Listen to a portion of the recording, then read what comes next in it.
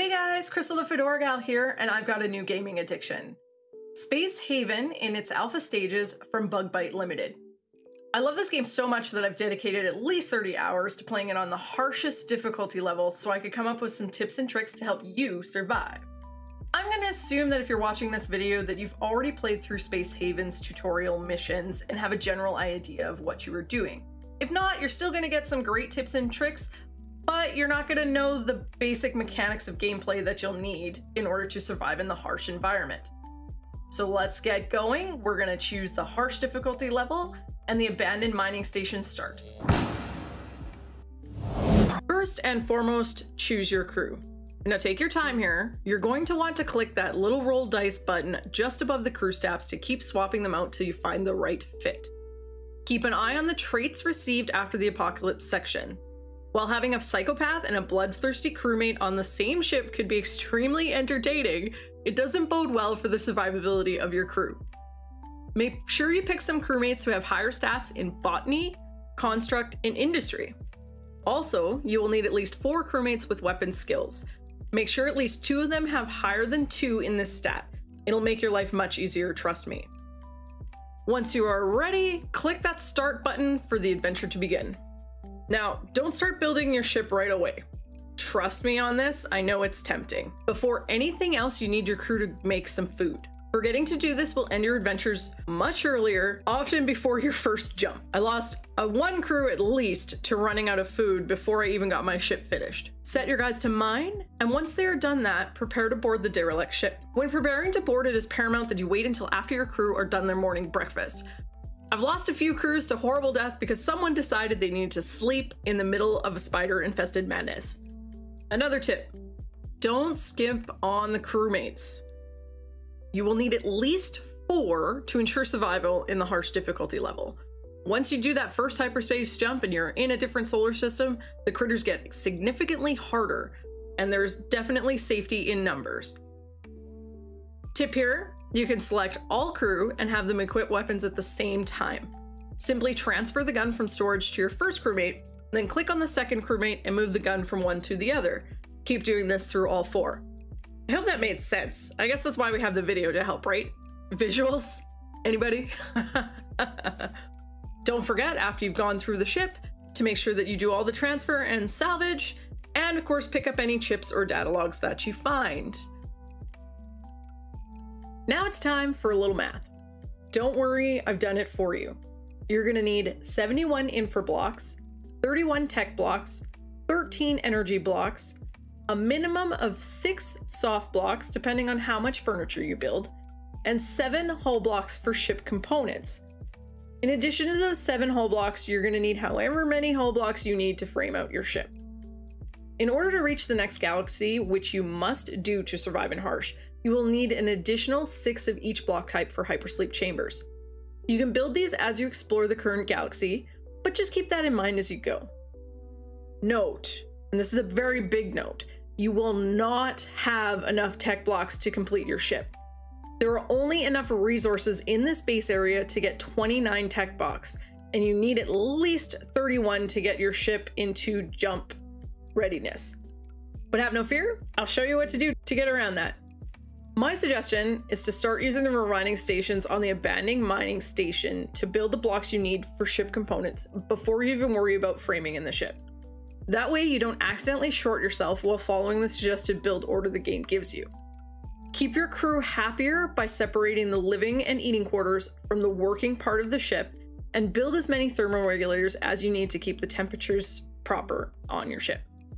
Make sure you build your recycling composting room to be big enough for a few extra machines and put an airlock on it. You will not need to heat that room. Note, your food production area does not need an airlock, but if you feel more comfortable adding one later, you can. It's just a waste of resources off the top. Okay, so now you got most of the components of your ship and you are ready to move food production from the mining station over. But wait, suddenly it says you don't have any fertilizer? The composters simply can't keep up. No worries. Build a chemical refinery in your production room and build as many chemicals as you can.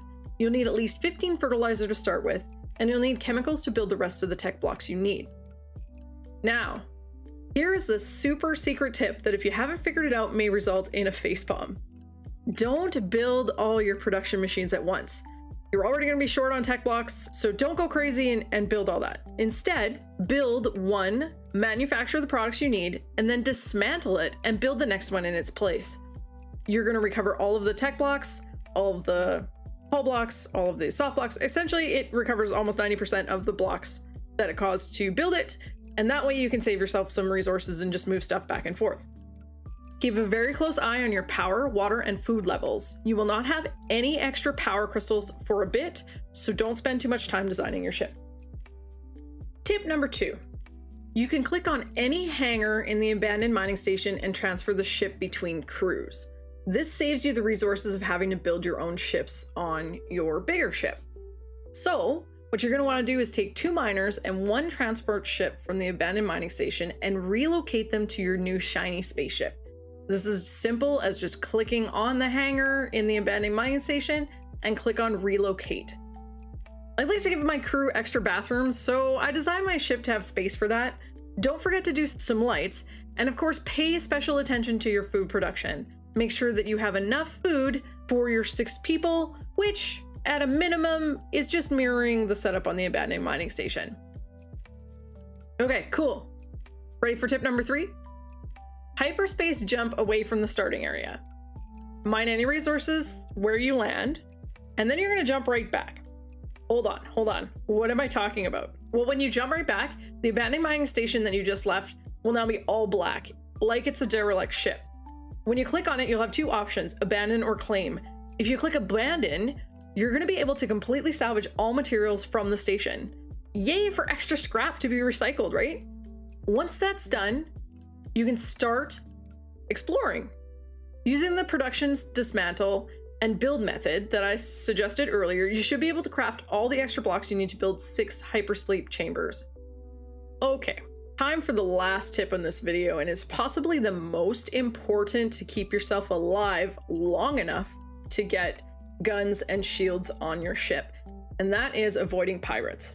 As we've previously discussed, you're not going to have enough materials in the starting galaxy to build anything extra. So that means no shields, no guns, no radar until you're able to jump to another galaxy. So when you're flying around in your first spot, and when of course you get to the new galaxy, you are going to want to pay close attention to where the pirates are. The best way to do this is watch your screen and look for that ship incoming next turn notification that pops up. When that happens, zoom out to your map really quickly and check to see which ships are moving. If it's blue, it's a neutral ship and you should be okay. If it's red, it's a pirate ship. And if it is coming towards you, I would drop whatever you are doing and jump to a new sector.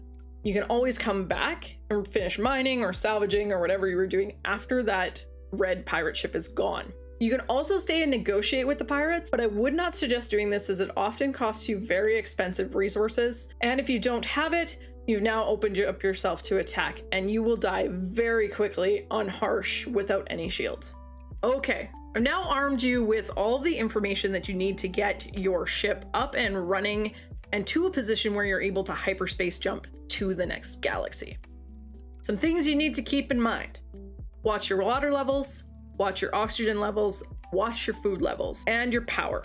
You will not get access to power crystals or hyperspace crystals until the next galaxy in the very least, so keep an eye on that. Trade for what you need in order to build those products to keep you alive. When you do hyperspace to the new galaxy, it's going to be a lot tougher. The derelict ships are going to have tougher enemies on them. You're going to have way more pirate ships, and the environment is overall a whole lot nastier. But there are going to be more resources, and if you set up your ship properly and keep in mind you can dismantle and rebuild production machines, you should be able to survive to get to a point where you can build shields and guns. Keep avoiding those pirates and keep exploring. And hopefully, I've provided you with some tips and strategies that will keep you alive until you're able to do that. Thank you so much for watching this video, but it's housekeeping time. You know what that means. Comment below with what you like best, hit that subscribe button and that dinging bell so you know when my next video comes out, and of course, come check me out on Twitch every day except for Monday and Friday. I'd love to see you there. Stay safe, have some fun, play some games, and most of all, enjoy your life right now because it's the only one you got. Fedora Gal out.